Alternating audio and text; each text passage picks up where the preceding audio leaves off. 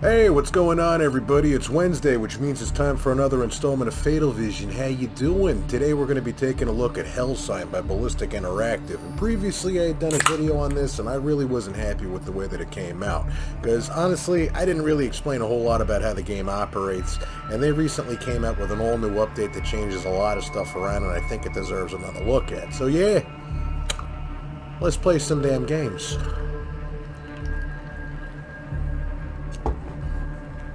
Alright, so basically what we got here is essentially a bare bones character creator here. And got a bunch of different classes, which basically determines the loadout that you're going to be going in with. Some of them are more based off of investigative skills, others are going to be based more off combat. I'll just jump in with the mercenary there. And picture-wise, we got Cobra, Crocodile Dundee and Samuel L. Jackson, Snake Plissken's high school yearbook photo, and the guy from Big Trouble in Little China.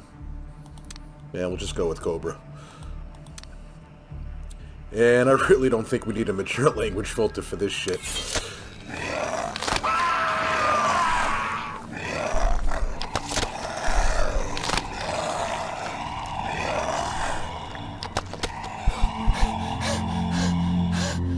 Really digging the art style here. It kind of reminds me of early 90s Marvel comics, like when Todd McFarlane was doing it. Kind of getting Constantine vibes here. And you know what? I think that's a really good way to describe this game in general. It's kind of like Fallout because of an isometric perspective meets Constantine. And that's really what I love most about this game in general. It's just the fact that if you're like, say, a Phasmophobia fan, because that's ultra popular, Hellsign is really more combat oriented, but it still has those investigative aspects of it. And this predates Phasmophobia by a year, but as time has gone by, the developers have been slowly but surely updating it and adding a lot of new stuff to it. I mean, the investigative stuff, once again, if you're a Phasmophobia person, because that's the best point of reference that I can give you, you still use all the tools of the trade, but you also come in armed with traps and guns to take them out, along with specialized ammunition and armor and stuff like that. So once again, we got the isometric viewpoint here, and I'm loving the fact that there's a dedicated tutorial behind this, because it'll actually explain the game way better than I ever could. Oh, now I get it. And it looks like the heads-up display has been changed up too, and it looks much nicer. I can already tell that I'm seeing that it tells you how many signs you have left to get without looking through the journal. Yeah, sure. You ripper. As far as I remember, that means you're like a badass. Yeah, sure. We'll skip all that. You're typing, it's like you're playing Resident Evil again. Alright, so... Uh, this is very nice. I don't remember any type of a tutorial like this because before it just kind of threw you in. It was all sink or swim. So, Definitely an improvement there. Play using the keyboard and the mouse to look around, which I don't really mind it, but the perspective, it kind of works best with turn-based action. This is really on the fly and live.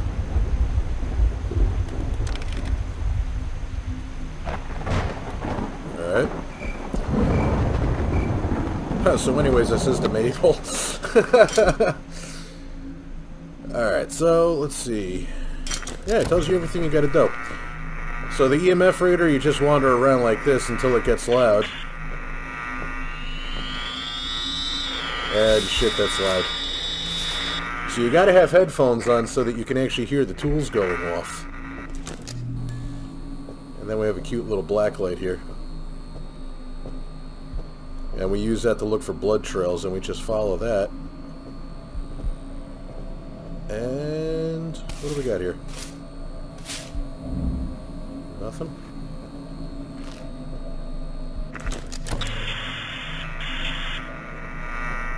Hmm.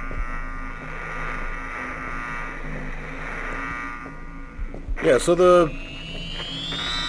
Well, I don't even know why I bothered fucking around with the black light then. We got two out of the three. And while all this is going on, a ghost can pop out and attack you at any time. But that's what sets this game apart from pretty much any other game in its category, is just the fact that you can fight back. And like I said, I'd rather kind of go with like a turn-based aspect for the combat because this is your perspective the entire time, and things can really start to get obstructive though just from the view. I like it, but you kind of have to get over it at the same time. Let's just check the body itself. There we go. Alright, so once we've gotten all the clues, I'm going to run outside because I hate when stuff happens in the house because it'll yank you outside of the book while you're doing it. Alright.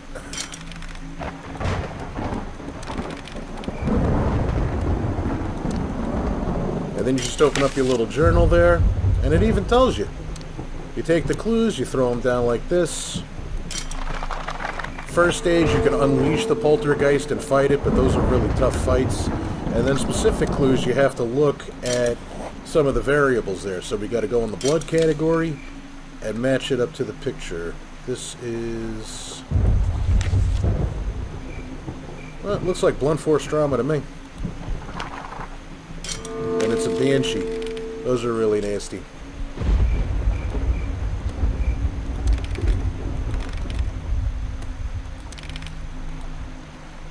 And that's really all there is to it. And that's on the lower tier level jobs, because I remember there being three different kinds of jobs. You had standard forensics jobs where you just go in, find the signs, get the hell out. Then you have sweeping missions where you go through and you just kill everything in sight. You have scouting missions kind of like this where it's a combination of the two. And then you have full-on haunts. They all have varying levels of difficulty to them. And obviously, the more difficult it is, the more you get paid. You also get way more experience that way, too. And in between missions, you can head out to the bar, where... I know I'm just jumping through this right now, but it's really just stuff that pushes the story along. Which, I remember it not being finished, but it's pretty decent. It's enough to get you into it. Like I said, it's kind of Constantine-ish. I'm assuming that it's just one of those things where, like, in the entire world, it's like Ghostbusters, you know? Like how they originally envisioned it, where the world was taken over by them, and these guys are like the cops and the fire department. You know, it's like a public service thing. That's all new dialogue, kind of helps flesh out the characters a bit better, so they're getting there in that aspect. So all the signs that you can collect, you sell them to this jack-off. And if you want to kill some time, you can also go gamble. Which, it's kind of 50-50. It's not something you want to do in the beginning. Fuck. Ah, there goes all my money. So that's how fast it happens. So it's something you want to do when you actually have money to do it with. And other than the bar, you can head off to your safe house where you can craft stuff if you have the schematics. You got a skill table so you can upgrade yourself that way. Look at all the items that you have without going on a mission. Go through this book. It does give you some pretty detailed stuff. Now, the whole reason why you're looking for these signs when you're going on the actual hunts themselves is once you deduce the identity, you can go a step further after you've progressed in the game and start finding out its weaknesses. So that way you can determine like what it's allergic to, so like special bullet-wise. Like these Banshees here, I know they're allergic to silver bullets, and you can also set down EMP, where sonic ear protection, so that their effects don't hit you as much. And it even goes a step further, so when you drop down traps, you can jury-rig the house so that it puts out a certain wattage of electricity. It's really interesting. I like it a lot. It also kind of changes things up a bit, so it's not just the same old cookie-cutter thing over and over again. You know, copy and paste, copy and paste. Because eventually that would get a bit boring. And this is one of my favorite tracks, because it reminds me of KMFDM.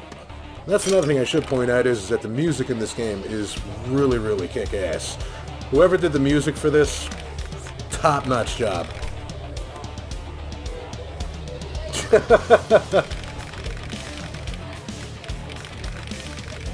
yeah, so how's everybody's week been? I'm sorry I didn't see you Friday, but I'm not going to compete with the election. We saw how that went last week, and it didn't do too well. Imagine how Friday would have been. Yeah, I know. Puzzle box, Hellraiser. Yeah. Music is wow. I mean, it's nice and heavy hitting in the bar, which is really appropriate. And then when you get out in the field, you have that beautiful atmospheric music that always keeps you on edge. And then when you actually summon the ghost and get into a fight with them, it's like something that Hans Zimmer would have done. It's really, like, epic shit. Yeah, so we'll just talk to this guy. And see, there's a good example. You go to the gun shot, you can, uh, uh, shot. You go to the gun shop and you can upgrade your equipment there. There's our little puzzle box that we need there. You have a decent variety, I want to say, of armor and equipment here. And plus it all pays in with the whole light, heavy armor stuff. If you have heavy armor, you have movement penalties. And everything has a different effect. These are all new. Actually, have a headlamp here. Nice. Yeah, so we got a couple new things here, which I'm digging. Same deal with boots and shoes and stuff like that. Accessories, which adds little stat things here. You get the drill of this, so it's it's pretty neat. You actually get to forge out your own play style, so I can dig it. And let's just jump into a couple hunts. And that really, the reputation thing, the only thing I noticed that changes up on is just how much money you can bet when you're sitting at the blackjack table. Now the blackjack table, it's kind of fair. But once again, it's not something you want to do if you can't afford to lose the money. But the tutorial thing, I'm definitely digging where it just tells you what to do, what everything is supposed to do. Now the story ended, I'm not going to spoil it at all, but it just kind of ended abruptly because I'm assuming they haven't finished it yet. But what they've got so far, it's not run-of-the-mill, but it kind of is at the same time. It's, like I said, it's kind of like Constantine, but you have this tattoo on your back, which somehow connects you to the demon realm, and you got to figure it all out. And it's kind of predictable where things are going to go, but if they go with that whole comic book route when they're explaining things, I like it a lot. Now, the big thing that I want to see the change in the most is the combat, because the combat, uh, it was a pain in the ass, because once again, it wasn't turn-based, it was all real-time. Now, originally, something I read that they changed here was is that you used to be able to change your firing mode, where it was more of a broad area, or you could do precision. So you would do the precision to shoot out locks on doors. But this looks like it's only one way, which makes it a lot better. The only pisser to the whole thing is, is um, no joypad support. So if they narrowed it down to one firing style, you kind of should have joypad support. Because just moving the, the mouse around like this, especially when things get really, really tense. Oh, wait a minute. So it doesn't let you do this stuff until you've shown the game I know what I'm doing. Alright. But I want to see how well the combat works now, because it was just really, really unforgiving before.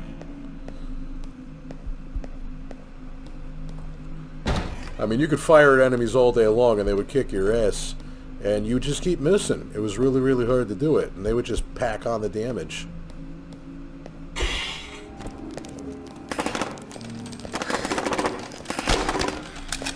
Oh, that's way better.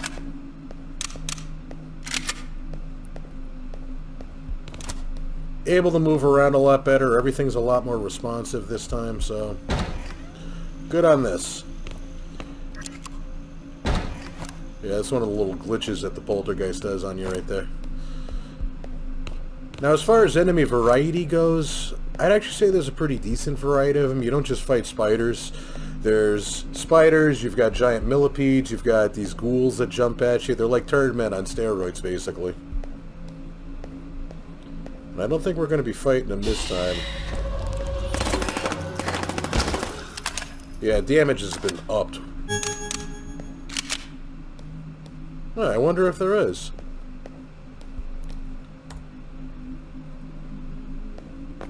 Alright. Analyze a corpse. Alright, this is all new, but I actually kind of like this. So you sacrifice your battery to get more information on them. We'll go with the middle of the road thing. Yeah, this is new. I like this a lot. It's definitely running a lot better. Oh, we've got albino spiders. Alright, so let's see what we got here. Nice! Meat baits and incendiary rounds. Oh, that's a hit and a half for me. Ignited petrol traps, too. Alright.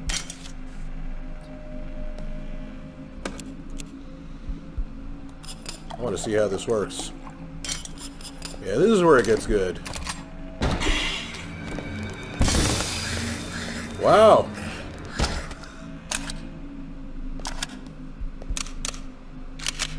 I like it.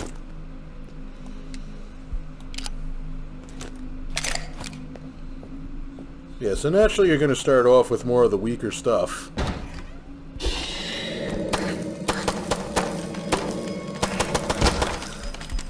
Oh, it's so much easier now.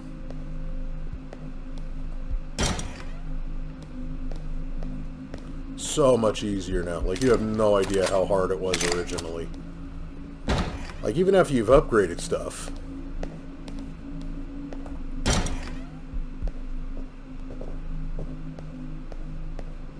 Alright. I have a feeling. This is cool.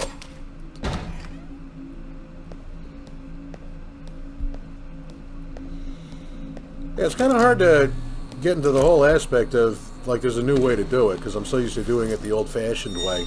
But that's where the game would really get you, though, is you go in every single room, and the maps are, are pretty much all the same.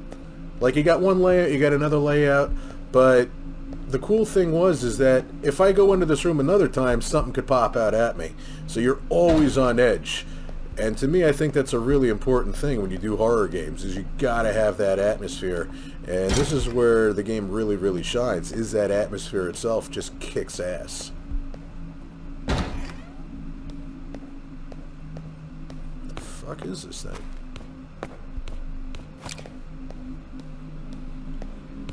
This thing just does not want to come out.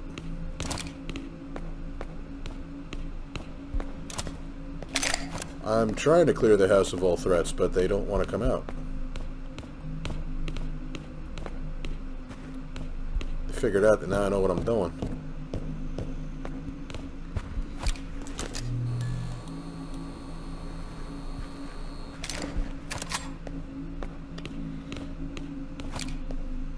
The only thing that used to really get me about this game, though, was just that it could get really grindy in a sense.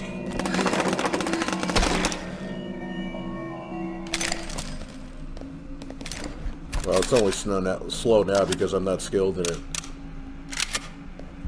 Once you get skilled in it, like the reload times decrease, the damage output increases. It's a cool part about that skill tree thing going on there. Like, where the hell is this fucking thing? But yeah, it used to get really grindy in the sense, just that you would get stuck in these mid-level hunts just trying to get money because you didn't really get paid much in the early ones, and doing the heavy ones, oh boy. Shadow Beast Realm. I'm supposed to die here. It's all part of the story.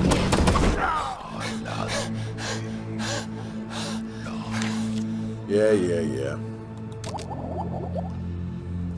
Yeah, see? Shadow beasts are nasty boogers. But yeah, going into the higher level hunts where you get the actual money with low level equipment just does not balance out really well. So even doing like the middle of the road stuff, so you're just constantly doing those scouting missions or those forensic missions, or maybe trying to edge out some bucks with the with the gambling, and more time than not you wind up losing the money and then you have to go back and do another mission again. So that's the part where the grinding happens, where it's just like, ugh,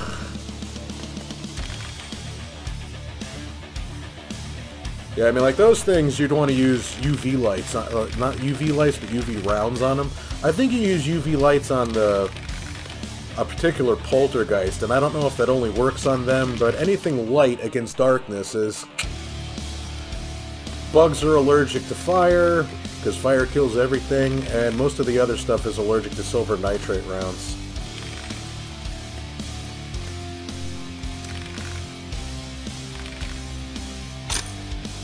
That bastard. Yeah, why not? And I mean, yeah, that's Hellsign. And we're going to take a quick break, and then when we come back, we'll jump back in. We've got more advanced equipment. We'll show it off. We'll go on an actual hunt itself just to show that, because it's really, really cool once you get into it. So stay tuned. We'll be back in 30. Super fashionable t-shirts, collectible buttons for accessorizing, incredibly niche posters for the basement or whatever. All this, and more coming soon, from the Adventuria Item Shop. Alright, and we're back, and I figured that this way we could skip all the grindy stuff and just get right to where all the good shit's happening. Let's see if we can find... There we go. A haunting in a house. A lot of good money here, a lot of signal disruption. Risk is just totally through the roof. There's also a new level here where you can go through forests and camping grounds. I'd rather go with what's familiar to me. Let something be a little bit of a surprise for you and we just got to let it load up. But I'll show off all the cool equipment that we have. We can see some of the higher level monsters and just the way that things operate. Because if we're going through a forensic mission, we're not going to see a whole hell of a lot of activity, which is what I'm sure you all came to see. So we'll just get something crazy happening, and I'll talk about all the equipment. I've stocked up on equipment, as you can see. Uh, got this, got that. Let's say we go one with this. Got a good amount of accessories and equipment going on here. Take one of these. Take one of that. And yeah, why not? You could always go for better accuracy with a shotgun at point blank range. Alright, so let's do it. One of the new pieces of equipment here, didn't really talk about this much, was a headlamp attached to a helmet, so you get some added protection, and plus you get a better field of view with the flashlight, which I like.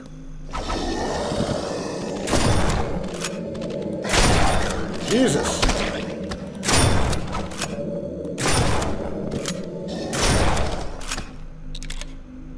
Yeah, this shotgun don't play. So yeah, that's your ghouls for you. Like I said, they're like turd men on steroids.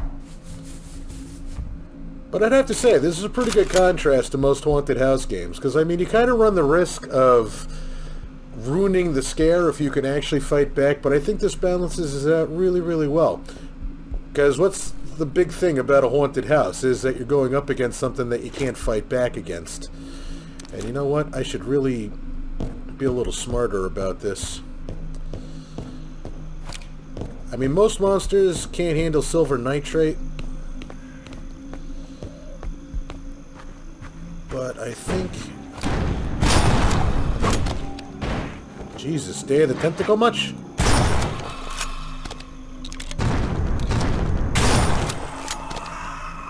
Yeah, I like the shotgun. I mean, typically I use a submachine gun, but it just doesn't do as much damage compared to this. But, uh, Downside is, is that the reload speed is pretty low, and you don't have a very big clip. The map is a new addition, which I like a lot. I have some sort of a clue as to where you've been and what you've got. Because, I mean, that was really probably the biggest downer about how it was originally was, is that you didn't know how far you were getting. You didn't know where you were. It's just lack of information, which they seem to have fixed, and I'm really glad to see that. We'll swap these out, and we'll go in with the thermal. Now the thermal has two modes. It used to be a box that float around the screen and you would just look for a heat signature and you would take a picture of it and that would count as your evidence. But this has a new layout and I think it works. We just want to look for heat signatures. It also has a secondary mode which will measure condensation. So in this little red area there's a hint. And he's getting active. There it is.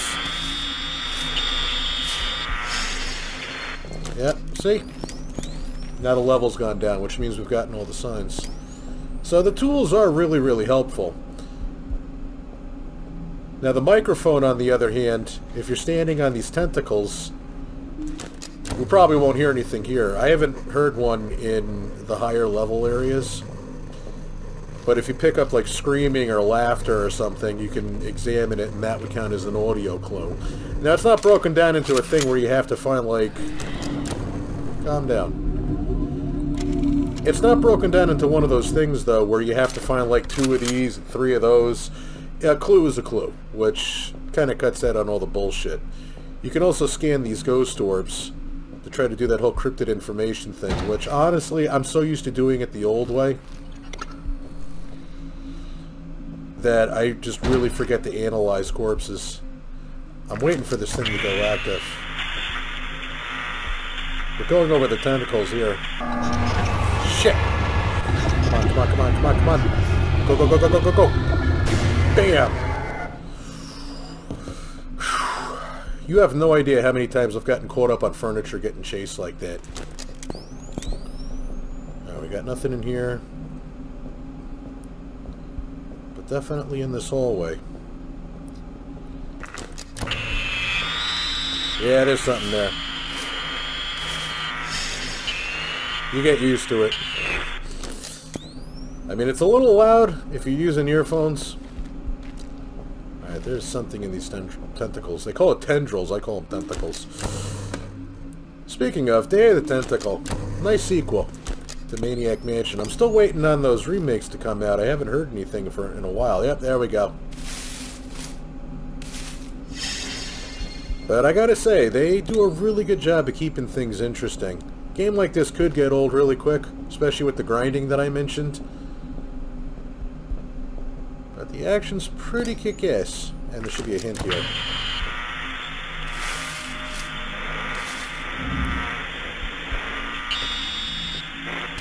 Come on.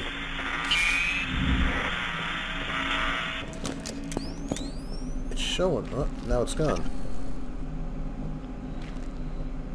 You know, and as you're going throughout this thing, the ghost will do everything possible just to totally dick with you and screw you over. Something else you gotta watch out for here is mimics. D&D fans will know what I'm talking about there. But it's not a treasure chest, it's the door itself. Like, it's really freaky when you walk up thinking, I'm about to bust this place up, and then suddenly, I think there's something in that painting. There's nothing there. When it happens, you'll know.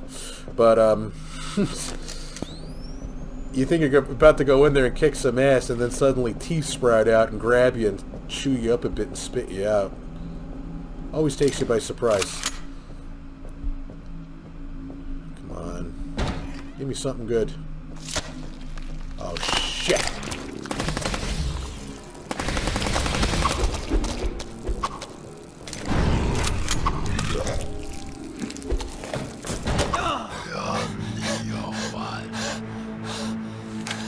And that's how it happens.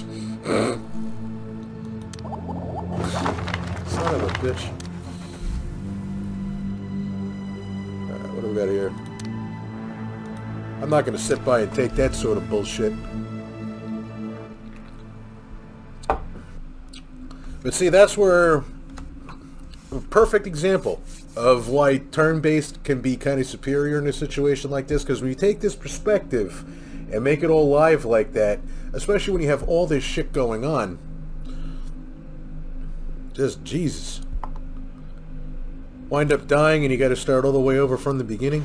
At the very least, though, when you die, you get to keep all the signs that you collected so you can kind of get something back in the cash department. And you know what? I'm thinking what might be prudent here.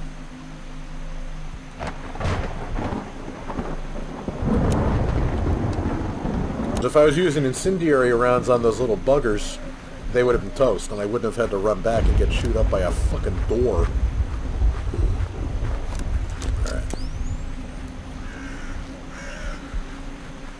But I really got to stick to this pattern too.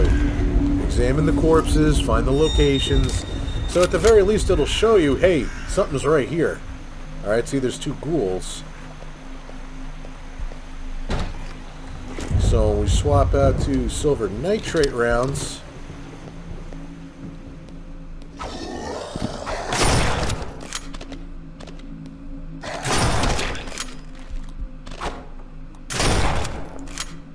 Fucker. Fell on his stupid head, too. You can swap it out and just plan accordingly. Now what the hell? I thought I loaded up the incendiary rounds. Ugh. See, that's something they gotta fix too, is ammo swapping. That to me, it gets a little imbalanced. Uh, but we want the silver nitrate, right? Eh, whatever. I can handle those. But that occupies your extra equipment slot, so if I press the button, like so, it should swap out for the ammo that's in that slot instead of having to open up the inventory, because when you're in a fight, you cannot open your inventory. So that can be a bit of a pain in the ass.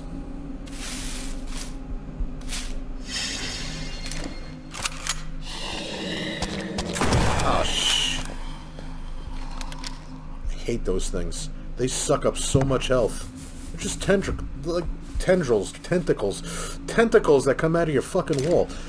I call them tentacles, but I see tendrils so much now I'm calling them tendrils. What I really, really hate is when you're doing a poltergeist activity. See, from this perspective and with the live stuff, it becomes manageable and you can get over it. But when you have really heavy-duty shit going on, the screen starts shaking like it's having an epileptic fit.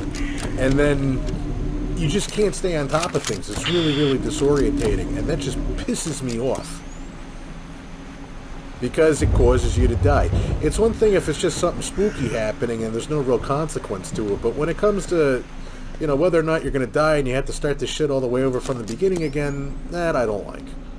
I mean, the game is challenging enough on its own, and it's a tough but fair challenge. Alright, so we got a shadow. And it's so bad that you can't even see it. So let's see, disrupting light sources. So we want to use infrared goggles. I love that you can highlight this stuff and go back later. That's cute. Uh, it's a shadow base, so the only way to hit it is ultraviolet rounds, which we have plenty of.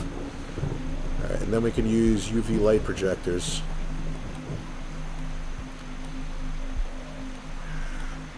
Which is cool. And then connect the first thing, which is uh,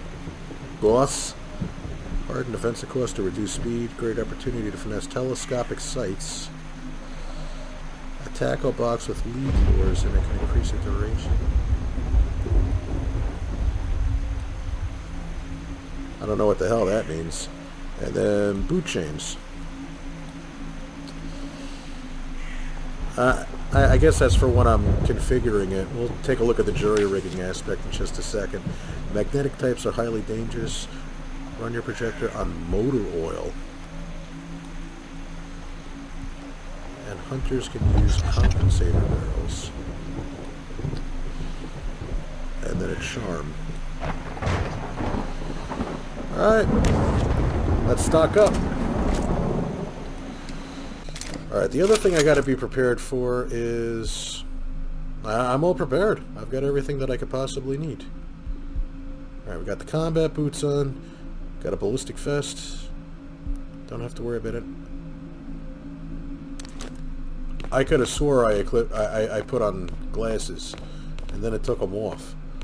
What the hell is that shit all about? This thing just rejects stuff, and it doesn't tell you.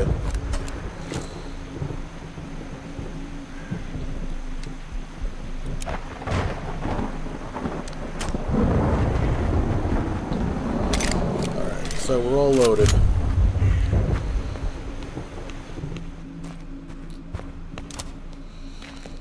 Alright, you son of a bitch. I'm gonna take you out today.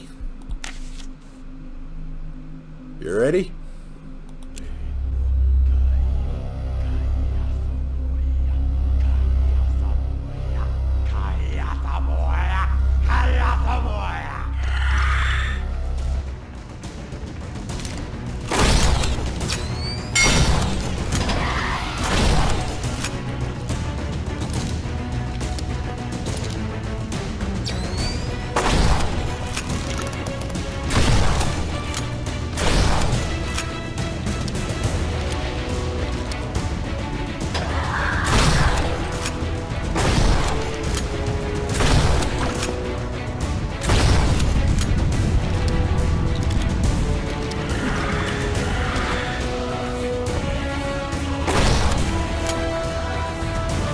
Motherfucker. Come get it.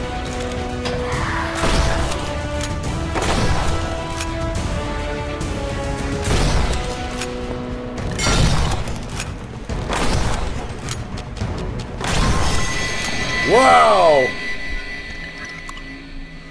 Whew. No pressure. I had to have a Jaws moment, especially with the type of music playing. yeah, so... All in all, good hunt. But see, it just really picks up, and it really drags you in, and son of a bitch, I'm glad that I got a chance to share that with everybody, my first shadow kill. Miserable bastard he was. Piece of shit. Yeah, there we go. Bam. Alright, that was uh, Hellsign, and honestly I'm really impressed with the changes that they've made so far. The game is a lot easier to play. Still challenging, but it's still fair. So, I mean, the pluses beyond this one is the atmosphere has knocked it out of the park. I've mentioned several times already that the most important thing about a horror game is atmosphere. And it doesn't get any better than this. I mean, really. Really, really well done. The music here adds to that atmosphere. You got that epic music, you got the hard rock, everything. Music and sound effects are top notch. All perfect there. Lots of the action is really good. I think this is a nice alternative to people who want something tough and something intense in the supernatural realm. So, really, just everything about this is just great. I love it. Uh, negatives that I would have to say about it, though, is that the game can get really grindy in a lot of spots. I've mentioned this already, where sometimes you're just stuck in those middle-of-the-road levels where you're trying to get money and trying to get money, but you can't really do it. Then you go to the harder ones without the proper equipment, you wind up dying, and then you're just back off to square one again. So that, I'd say, is a negative.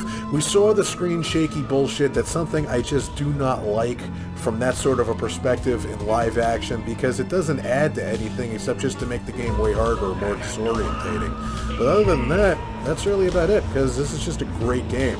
And I feel that if like Phasmophobia is like the king of multiplayer haunting games, this is the fucking ruler of the single player universe. It's just great. I'm glad that I got a chance to take a look at this again and talk about it properly. And if anybody was turned off by the original review or hasn't heard of this yet, I hope I convinced you to check this out because slowly but surely the game is getting better and better. It's just awesome. I love this game. Can't wait to go back to it. And on that note, that's just about going to do it for me. So as always, thank you guys so much for dropping by and inviting me in your day like this. I appreciate you. Hope you guys are having a good week so far. And I'll check in on you Friday with another ROM hack review. And I promise you I'll actually do one. I told you I didn't want to fight with the election for numbers. Um, so yeah, and if I don't see you Friday, try to see if I can get some live streaming going. We can finally finish up Final Fantasy this weekend. Hopefully if that happens, or I'll see you next Wednesday. So until next time, I'll be saying bye-bye now.